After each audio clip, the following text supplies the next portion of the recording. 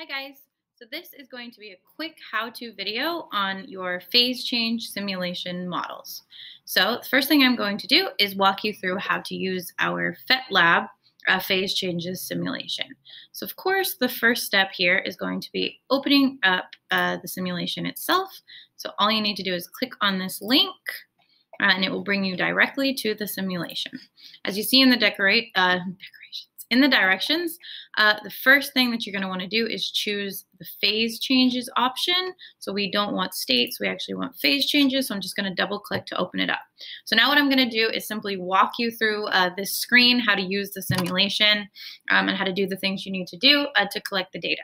So over here in your right hand corner, you will see the different types of atoms and molecules. Here's where you can actually select uh, the type of atom or molecule that you want. So you will choose uh, which one you're going to use based on the directions that are given. Over here is where you can choose uh, the unit for temperature that you are going to be using. So uh, K stands for Kelvin. We are not accustomed to using Kelvin, so we are actually going to be using Celsius. So you also want to make sure that you are changing your temperature over here to Celsius. Now, uh, over here, you are able to actually uh, pump in more molecules. Uh, to this chamber, but we are not doing that. So I would say just leave this alone.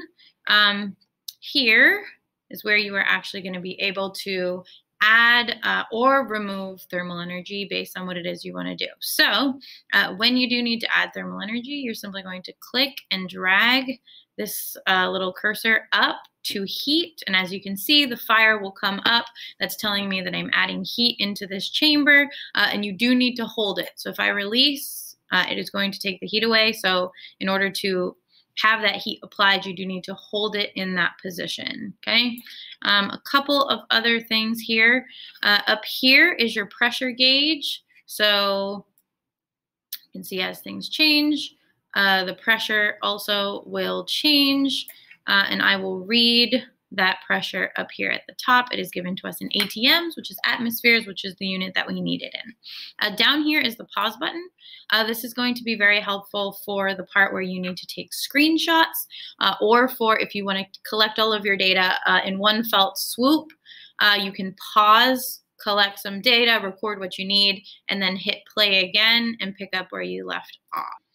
One other thing to keep in mind, you cannot see it because my uh, webcam box is down here in this corner, but right in this bottom right hand corner where you see uh, me at the moment, uh, there is a orange circle with a little circular arrow in it.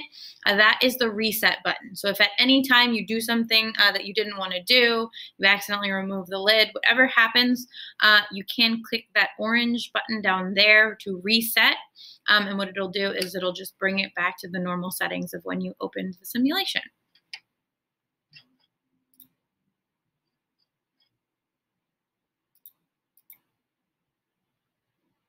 So now let's take a look at part two, uh, the simulation boiling points around the world. So of course, first step is always to open the simulation. So I simply need to click on that link and it'll bring me straight to my simulation. Now we want to let it load, which is of course taking a moment here. So here we go. Okay, so when it loads, it will look something like this. So up here at the top, uh, you'll see this little pin, and then it will tell you the location. So up here is where you find the location uh, that is being looked at. So up here we can see that here I am at the top of Mount Everest in the country of Tibet. Here uh, in the middle is where I'm given my altitude. So altitude just meaning the height above sea level. I'm given the altitude in the units of meters. Down here uh, is where I will be given the temperature of the water in degrees Celsius. So now, how we want to work uh, this simulation is we are going to go to the altitude that we want. So let's just say I will start here uh, at Death Valley, USA. I know I'm in Death Valley, USA because I looked up here uh, at my location. It'll give me a little information about it. And I know my altitude is negative 85 meters. Now, all I need to do in order to actually run this simulation and collect my data is hit this little play button. Now, once we hit play uh, and it actually loads, It seems like it's not because I'm trying to make this video. Here we go. Okay, uh, what's going to pop up is this model of my atmosphere surrounding my water and the water that is being boiled in this pot. Over here in the blue square, you will see the change in temperature of the water.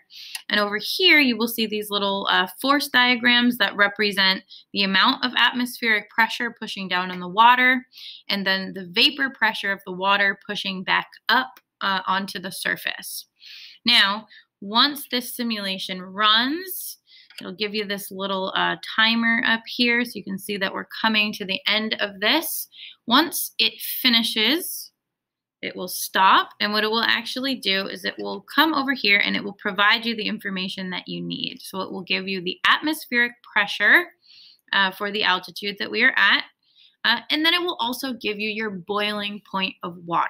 So all you need to do is come up to the data point uh, for that given point uh, and collect your data there for your atmospheric pressure and the water's boiling point. So now in order to go from one altitude to the next, all you want to do is simply uh, pull this little green uh, toggle key here a little bit and it will take you to your next altitude. So after that negative 85, we're now here at 14 meters uh, and you will collect the data for all of the locations uh, in the simulation.